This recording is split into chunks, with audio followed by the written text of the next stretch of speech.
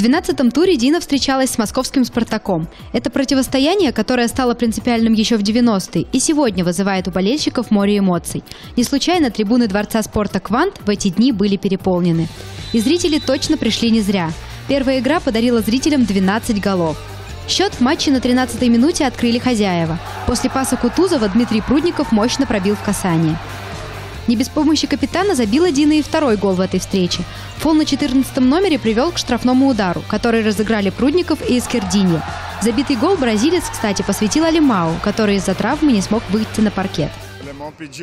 До игры он сказал, если ты забьешь гол, вот так вот руки подставь э, к ушам, как бы, ну, мы его шутим, его подкалываем, потому что у него большие уши, ушастый. Поэтому я как бы этим сам показал, что гол посвятил ему.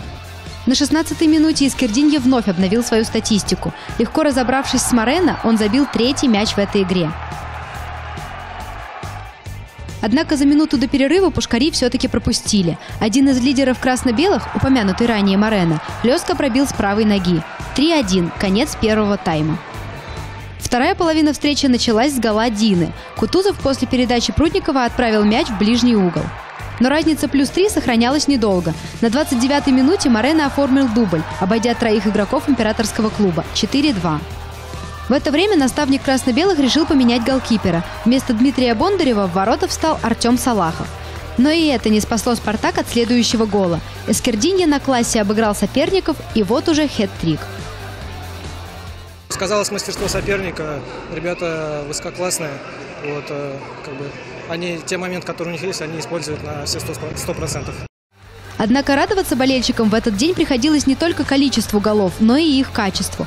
На 36-й минуте диновцы разыграли красивейшую комбинацию. Хамадиев отдал Прудникову в центр штрафной, а тот в касание переправил мяч на Мишарина, который точно замкнул передачу. 6-2.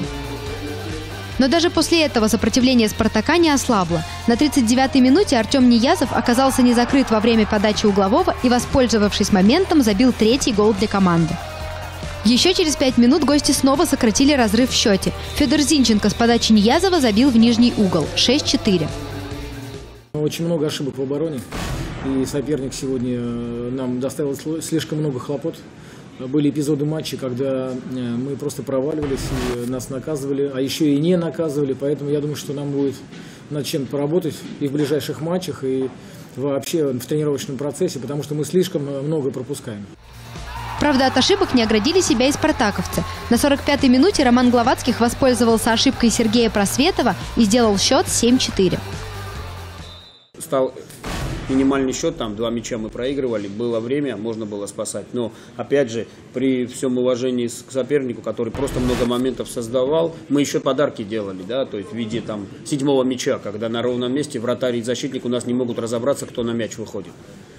И все, уже разрыв три мяча, уже было сложно вернуться в игру. Этот гол диновцев был лишь запятой в матче. Логичную точку поставил Прудников, обыграв вратаря и забив гол за 5 секунд до конца. 8-4 итоговый счет и еще 3 очка в копилку команды Юдина. Впереди борьба за лидерство в турнирной таблице, пока Дина идет на четвертом месте, и вторая игра со «Спартаком».